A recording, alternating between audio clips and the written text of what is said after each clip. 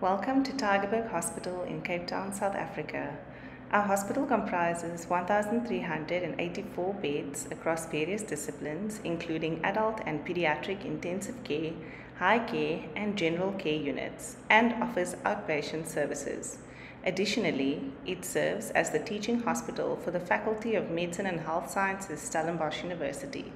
In South Africa, the National Health Laboratory Services, also known as the NHLS, is a national public entity that was established in 2001. It provides quality, affordable, and sustainable laboratory services, training, and research. It ensures the provision of cost effective and efficient health laboratory services to all public sector healthcare providers in South Africa. The NHLS ensures the support and conduct of health research and provides training in conjunction with medical facilities at universities. It strives to provide a high quality pathology laboratory service that is clinically efficient and cost effective. The primary goal of the NHLS is to ensure the overall care and well being of patients by supporting a strong and effective public health care system. The NHLS laboratory delivers a 24 hour service to Tygerberg Academic Hospital, public secondary hospitals, and primary healthcare facilities across the region. The NHLS at Tygerberg comprises chemical pathology, hematology, virology, anatomical pathology, medical microbiology, and immunology. Our laboratory is ISO 15189 accredited, where we offer routine and specialized testing.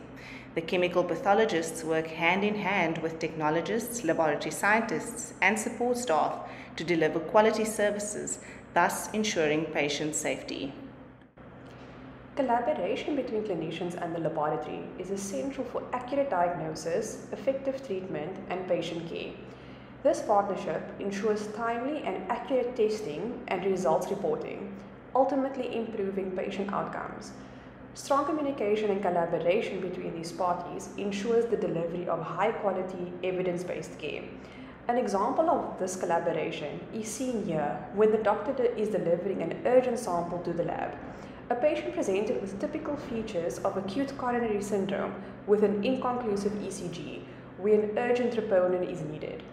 In the laboratory, our reception team endeavors to expedite the processing of these urgent samples, ensuring their swift testing and availability for clinical decision making. Samples classified as urgent, such as troponins and ammonia, are given priority over routine tests.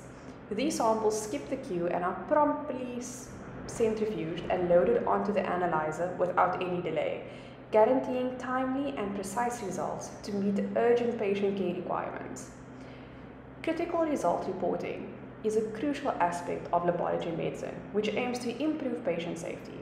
A critical result is defined as a lab result that suggests a patient is in imminent danger unless appropriate and timely intervention is implemented.